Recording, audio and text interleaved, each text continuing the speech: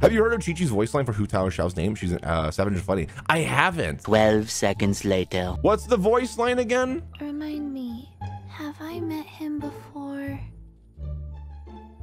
Um, correct me if I'm wrong. Wasn't Xiao the one who found Qiqi dead in a cave? Oh.